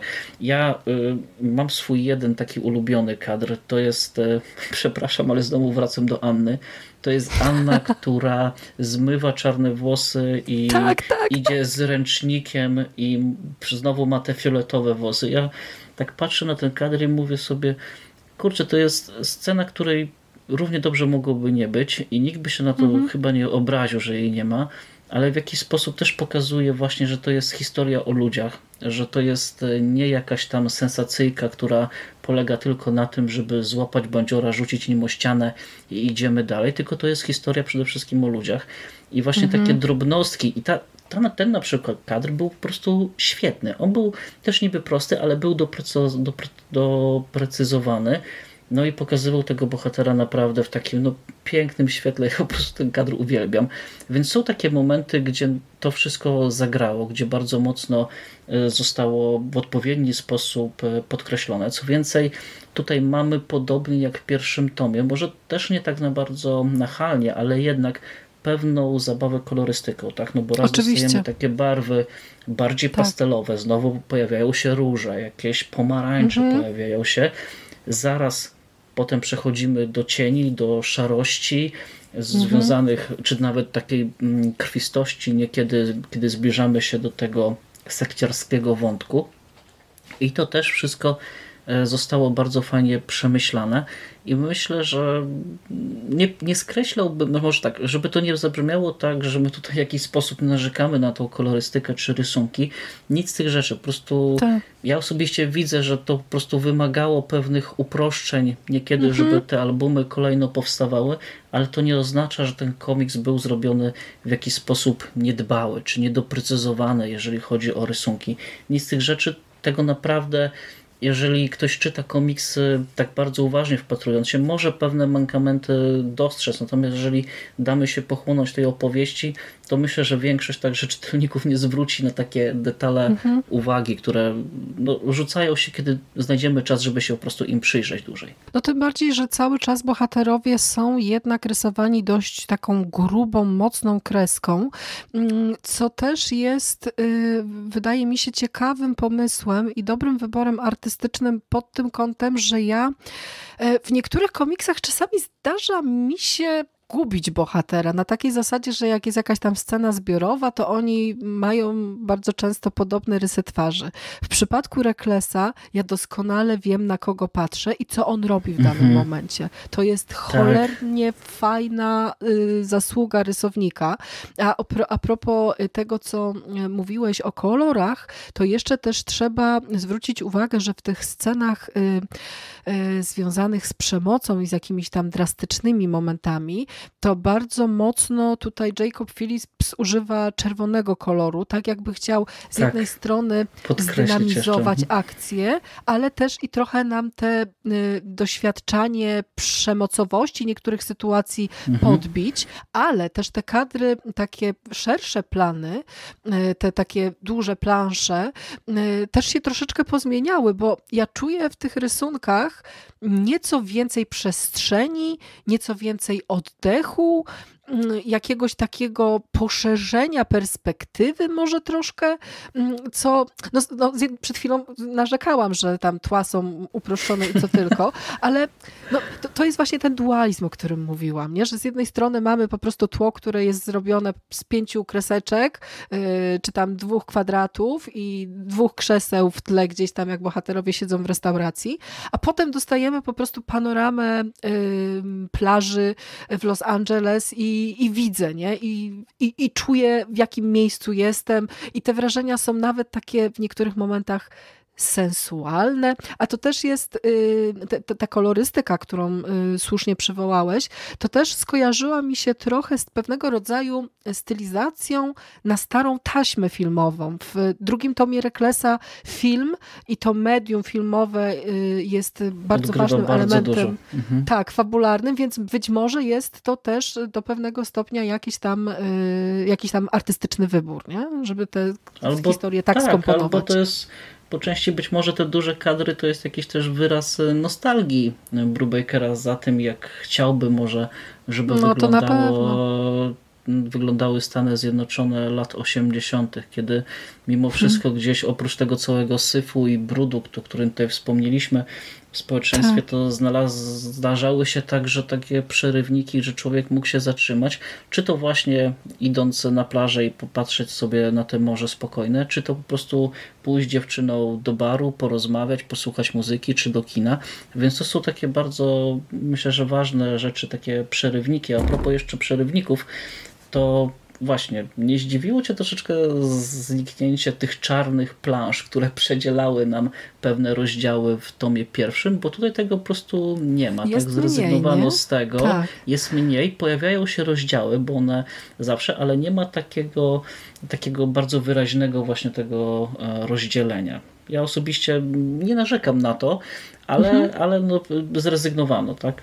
Po prostu. No, zastanawiałam się, dlaczego, dlaczego y, nagle zdecydowano się na troszeczkę inne tutaj y, wykorzystywanie tej, tej czerni. Może z tego powodu, że tu jednak więcej rzeczy dzieje się tak Trzeba było mm, mhm. dosłownie, nie? A mniej dostajemy jednak takich niedopowiedzeń, chociaż jest jeden rozdział, który w dużej mierze jest zbudowany z czarnych kadrów, kiedy Rekles mhm. jest przewożony y, i ma tak. założoną torbę foliową czarną, żeby nie widzieć, gdzie, gdzie się znajduje, co też oczywiście ma wywoływać y, to wrażenie dezorientacji, nie? Więc to z tą czernią... To też nie, fajnie to też jest... zostało w ogóle wygrane. To, to, no nie? to bardzo, to bardzo sprytnie zabieg. poprowadzone.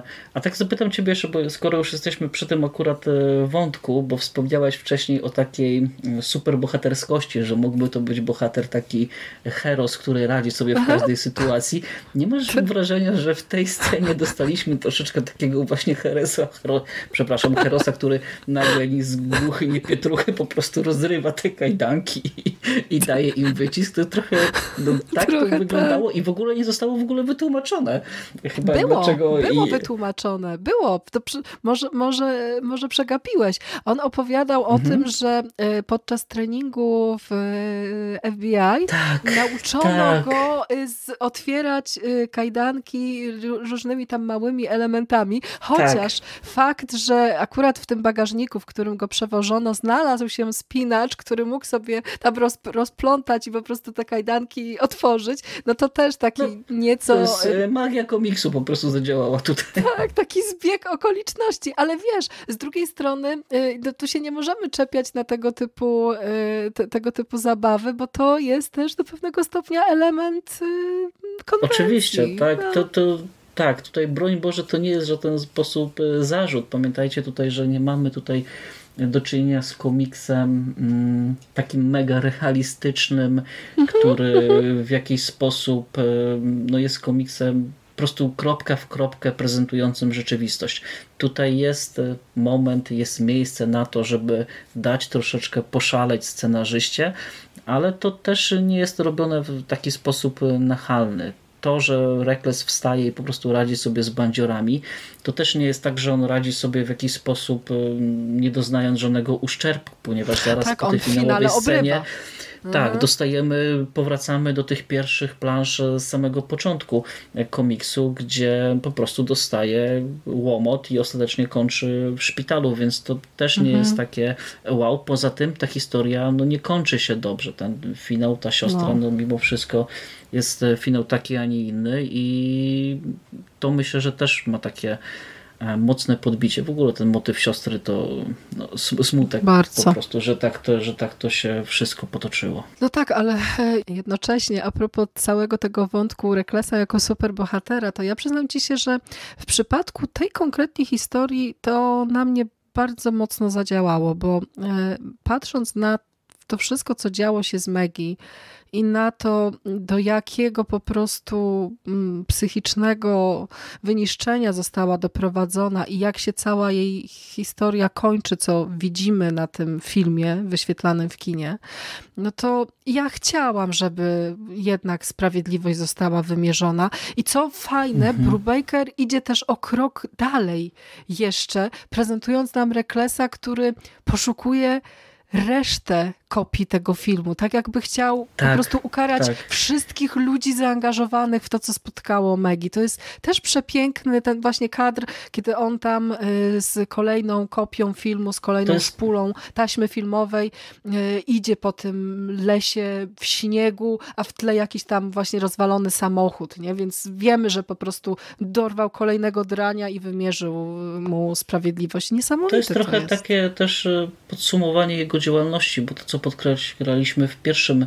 naszym podcaście, że to jest bohater, który po prostu pomaga ludziom, ale też nie robi no tego tak. do końca dla pieniędzy. Tam jedna jest, e, chyba na jednym z pierwszych plansz pada takie zdanie, że jestem po prostu facetem, który czasami pomaga ludziom mhm. i ta właśnie naturalność tego zdania, że on po prostu nie tylko właśnie dla kasy, dla pieniędzy, dla pieniędzy być może po części z tej ciekawości takiej ludzkiej, chęci poznania jakiejś tam tajemnicy, ale mimo wszystko, że gdzieś z tyłu głowy siedzi, pomimo tego pesymizmu, który mu towarzyszy, też po prostu taka zwykła potrzeba pomagania innym, przejawiająca się właśnie w takich drobnostkach. Zakończyła się sprawa, ja ukaram mhm. ludzi, którzy odpowiadają za to, ale też zabezpieczę te filmy, żeby one nie trafiły już do nikogo, żeby nie stały się jakąś pożywką dla mas, tak, mhm. żeby nikt nie czerpał z nich korzyści, więc to też pokazuje taką szerszą perspektywę, jak on patrzy na pewne sprawy, co po raz kolejny pokazuje, że ten bohater jest na pewno bohaterem bardzo bardzo przemyślanym. To jeszcze, to już ostatnie pytanie na koniec, bo no myślę, że nie musimy wam dodatkowo tutaj y, żadnego podsumowania y, serwować, bo słychać zarówno w tym, co mówi Sylwek, jak i w mojej relacji, że jesteśmy zachwyceni tym, y, tym komiksem i że mm, to, to jest w ogóle też fascynujące, jak, jak on, jak Brubakerowi się udało od czegoś tak fantastycznego w tobie pierwszym zrobić jeszcze wyższy skok i, i zaserwować zaserwować nam taką angażującą i mocną historię. A y, ja tutaj celowo teraz wywołałam Brubakera, bo y, zmierzając do finału y, naszego dzisiejszego spotkania, chciałam się ciebie zapytać, Sylwek, czy na tym etapie drugiego tomu nie odnosisz takiego wrażenia, że Brubaker też trochę zmienia jednak podejście, swoje podejście do przemocy. Już tłumaczę, o co mi chodzi. E, w, w pierwszym tomie te niektóre sceny e, przemocy, niektóre sceny walki, miałam wrażenie, że były takimi elementami po prostu fabularnymi na zasadzie jakichś e, czynników uatrakcyjniających, łapiących czytelnika albo e, zaspokajających naszą potrzebę, no bo hej, czytamy kryminał, więc no jakieś mordobicie albo pościg powinien się pojawić. Przydałoby no się. Mhm. Przydałoby się. Natomiast w przypadku drugiego tomu, to ja tak, tak czuję bardzo, że od od takiego prostego, zwykłego szokera, ta przemoc nagle zostaje przekształcona w taki element generujący jakieś głębsze rozkminy nad istotą świata i y, tego, co ludzie właściwie mogą sobie nawzajem zrobić. To tak jakby Brubaker tęskniąc trochę za y, tym, tą, tą, tą przeszłością taką utkaną z jakichś nostalgicznych wizji, jednak zauważał te braki i poszukiwał odpowiedzi, skąd to się wszystko bierze, dlaczego jeden człowiek krzywdzi drugiego.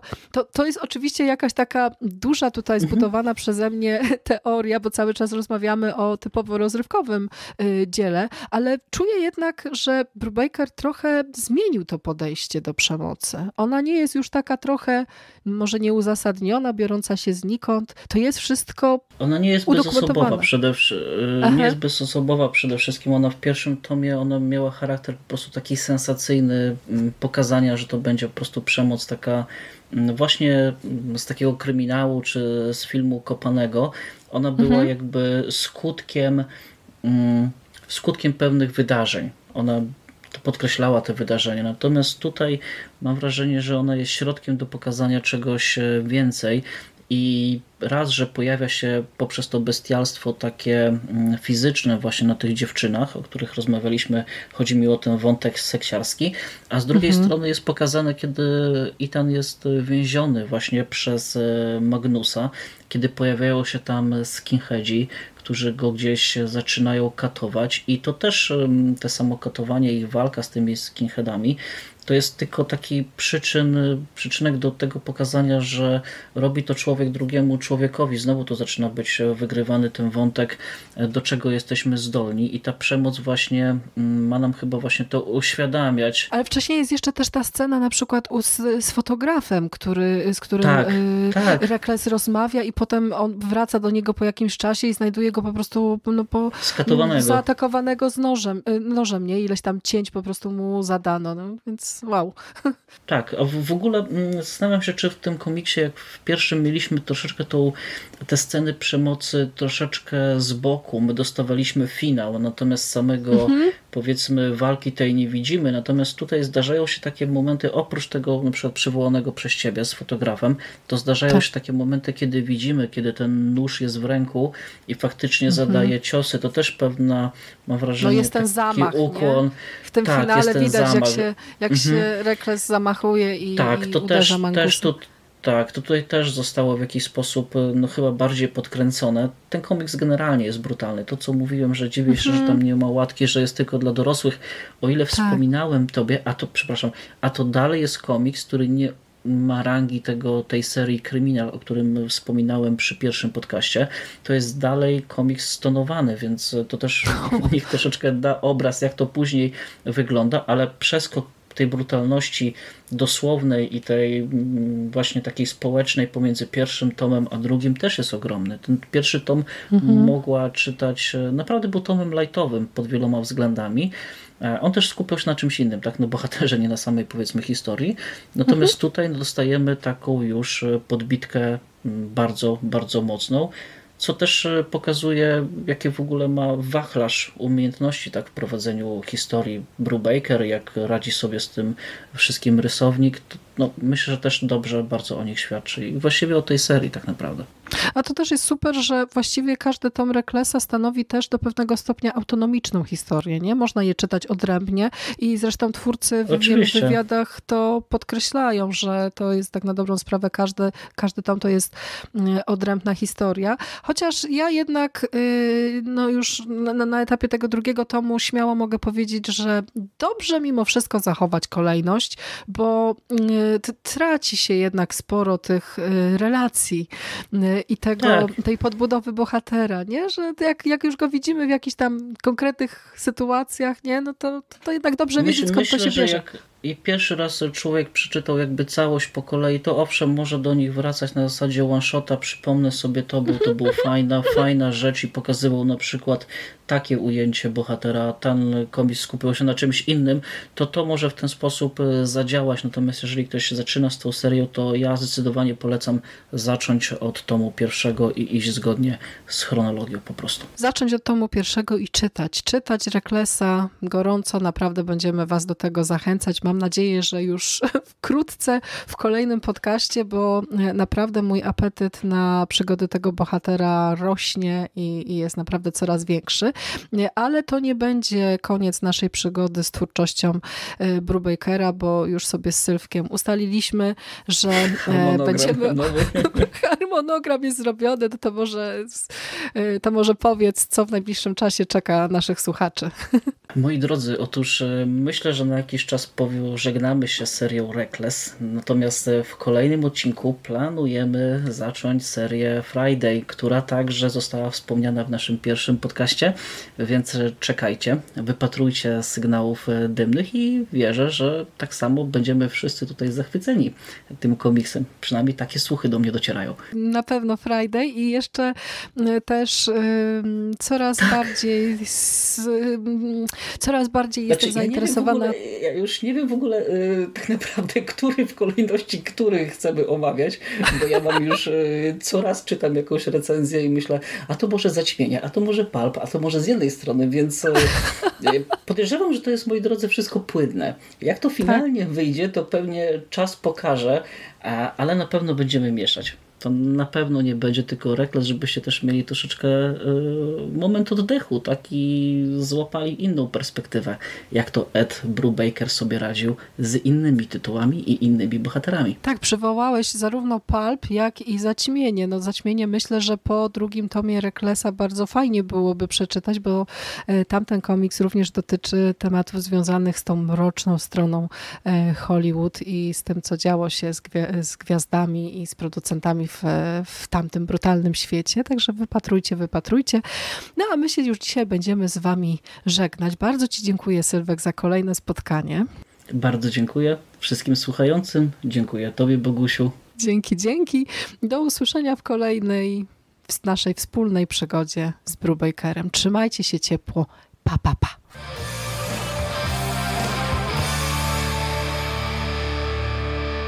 You finished? Game over, man. It's game over. What the fuck are we gonna do now? What are we gonna do? It's over. Nothing is over. Nothing. You just don't turn it off.